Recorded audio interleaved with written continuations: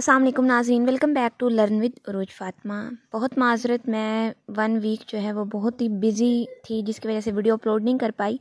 लेकिन आज का जो हमारा टॉपिक है थंबनेल से ही आपको पता चल गया होगा कि हम बात करेंगे जीसीयू में मेरिट लिस्ट कब तक लग रही है एम और बीएस वालों के लिए। और उसके हवाले से बात करेंगे कि मेरिट जो है वो कहाँ तक जाएगा, क्योंकि आप सबको पता है कि पंजाब बोर्ड में भी इंटरमीडिएट का रिज़ल्ट जो है वो आ चुका है। उसी बेस पर जो है वो मेरिट लिस्ट अनाउंस की जाएगी। तो अगर आपने अभी तक चैनल को सब्सक्राइब नहीं किया तो प्लीज़ मेरी रिक्वेस्ट आप सबसे कि चैनल को सब्सक्राइब, लाइक और शेयर करना मत भूलें। चलते हैं अपनी वीडियो को स्टार्ट करते हैं अपने टॉपिक की तरफ़। तो आज का जो हमारा टॉपिक है, वो है जीसीयू में मेरिट लिस्ट कब तक लगेंगी। पहले मैं बात करती हूँ एम स्टूडेंट्स के लिए। एम स्टूडेंट्स के, क्योंकि हर डिपार्टमेंट के इंटरव्यू भी जो है, वो कंडक्ट हो चुके हैं इंटरव्यू कंप्लीट हो चुके हैं। अब जो है वो मेरिट लिस्ट की बारी है तो मेरिट लिस्ट जो है वो एक्सपेक्टेड है, क्योंकि हर एक डिपार्टमेंट की फिफ्टी सीट्स हैं, जो कि एक्सपेक्टेड हैं कि फिफ्टी सीट्स हर एक डिपार्टमेंट में एम स्टूडेंट्स के लिए होंगी। तो अगर तो जब आप इंटरव्यू देने गए होंगे तो वहाँ पे रेशो में पता चल जाता है कि आपके कितने चांसेस हैं एम में आपका एडमिशन हो सकता है। क्योंकि ये टोटली जो बेस कर रहा होता है, वो कर रहा होता है हमारे इंटरव्यू के ऊपर।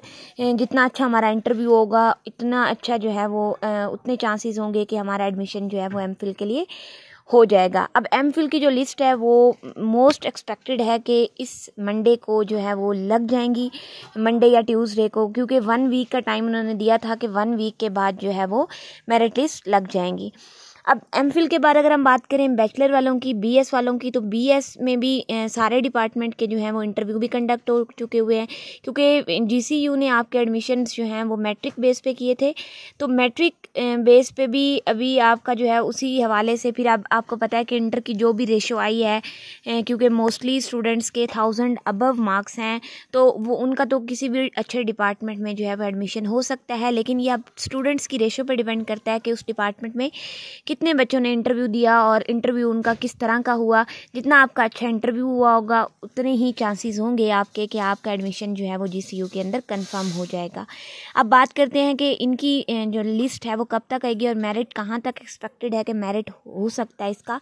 तो जो लिस्ट है बैचलर वालों की वो मोस्ट एक्सपेक्टेड है कि वो इसी जो नेक्स्ट वीक आ रहा है, उसी के अंदर कंप्लीट हो जाए, क्योंकि नवंबर के फ़र्स्ट वीक तक क्लासेस भी स्टार्ट होनी है। तो उससे पहले पहले जो है ये एडमिशन का सारा प्रोसेस जो है वो उन्होंने कंप्लीट करना है। तो होप्स हो कि अक्टूबर में ही जो है वो सारे एडमिशन जो हैं वो क्लोज़ हो जाएँगे एडमिशन कंफर्म हो जाएँगे स्टूडेंट्स के। क्योंकि मोस्टली स्टूडेंट ने दो तीन यूनिवर्सिटी में अप्लाई किया हुआ है तो जिनका हो भी जाता है, उसमें भी आपके चांसेस ज़्यादा हो जाते हैं क्योंकि मोस्टली स्टूडेंट्स का किसी ना किसी यूनिवर्सिटी में एडमिशन हो चुका है, वो वहाँ पर अपेयर हो चुके हैं, वो चले गए हैं। लेकिन उन्होंने यहाँ पर भी अप्लाई किया हुआ था तो फिर वो क्या होता है कि जिन स्टूडेंट्स के उनको लगता है कि उनके कम कम चांसेस हैं, लेकिन उनके भी चांसेस बन सकते हैं।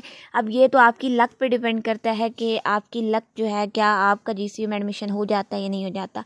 इसके अलावा भी बहुत सारी यूनिवर्सिटीज़ हैं, कोई ज़रूरी नहीं है कि जी सी यू या आपका लास्ट ऑप्शन होना चाहिए नो अब इसके अलावा पंजाब यूनिवर्सिटी लाहौर जो कि पाकिस्तान की बहुत बड़ी यूनिवर्सिटी है, आप वहाँ पर भी अप्लाई कर सकते हैं। वहाँ पर भी ईज़िली जो है आपका एडमिशन जो है वहाँ पर हो सकता है, क्योंकि उसके भी अभी तक एडमिशन जो है वो ओपन नहीं हुए। इसके अलावा एक बहुत बड़ी न्यूज़ ये भी है कि सरगोदा यूनिवर्सिटी के भी एडमिशन जो हैं वो अनाउंस हो चुके हैं कि ओपन हो गए हैं बीएस के अंदर।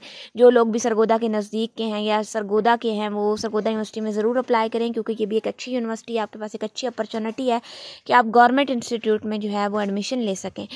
तो उसमें क्या है कि उनके भी एडमिशन्स ट्वेंटी अक्टूबर से जो है वो पोर्टल ओपन हो जाएगा। उसका भी मैं बहुत जल्द इन ताला कंप्लीट वीडियो बनाऊँगी कि कौन कौन से डिपार्टमेंट में एडमिशन्स जो हैं वो आप ले सकते हैं और सारा अप्लाई करने का प्रोसेस क्या है लास्ट डेट क्या है सारी डिटेल जो है इन ताला मैं शेयर करूँगी आपके साथ।